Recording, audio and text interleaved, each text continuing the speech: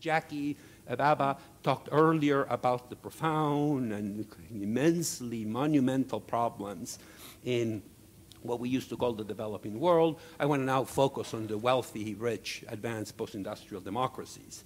Boredom has become the elephant in the classroom. We did a very simple task. We asked children to fill in the sentence. School is. This was a sentence completion task. The overwhelming association to school is, it was boredom. In fact, for minority and for immigrant origin boys particularly, they, they, there's a duality in the phenomenology of experience in schools. Half the time the kids are bored, the other half the kids are afraid.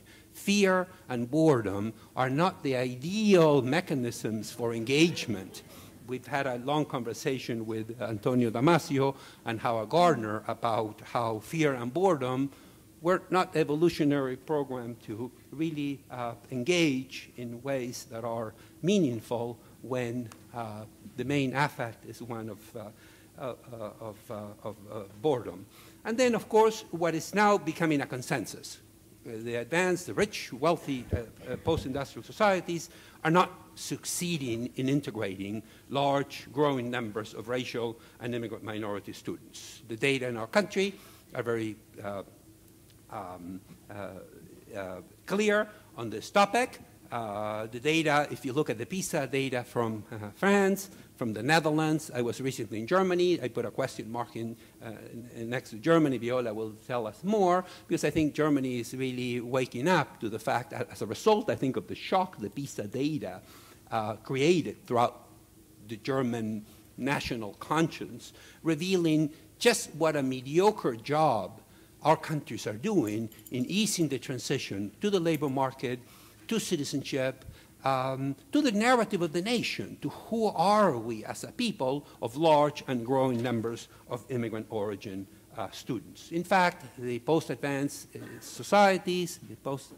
the advanced post-industrial societies of the 21st century are facing a perfect storm. And this perfect storm could be, in a way, interpreted in the context of a general misalignment hypothesis. In the United States, we have a complete misalignment between uh, our policy objectives as a country in terms of immigration and what we want out of uh, immigration as a set of uh, of uh, mechanisms defining uh, um, our national objectives, what the labor market wants and needs, and our educational uh, linguistic policies.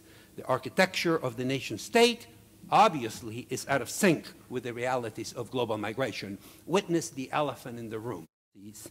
The misalignment in the US logic of the market and that the magic of American culture will automatically generate and create new Americans who will thrive and be engaged in our economy, in our society, in our culture, is not working.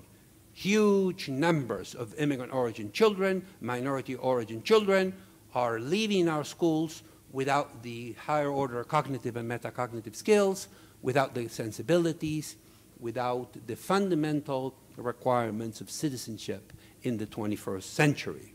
We're losing probably half of all Hispanic boys at a time when the U.S. economy has no place for children without the competencies to operate in an increasingly global, interconnected U.S. economy. As a consequence of this, five uh, out of the five Joses that were born this morning Four will come under the supervision of the criminal justice system. The data for the African American boys is even more breathtaking in terms of the long term consequences for our society, for our economy, for our well being.